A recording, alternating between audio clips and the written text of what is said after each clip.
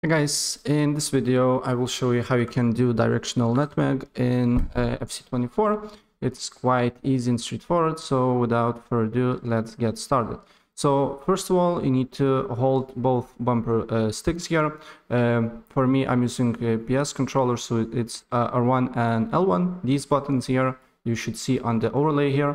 And then what you need to do here is you need to go to the, the direction that you want. For example, I'm going to the right direction and then with my um, right analog I need to flick to the same direction. So as you can see here this one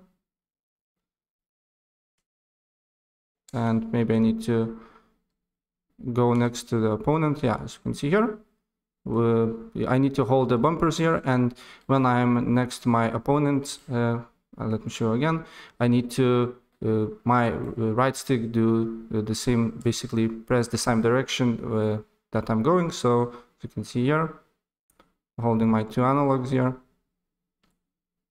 And as you can see here, it's working. So that's pretty much it. And if I help you out, please press like button and subscribe for more. Take care.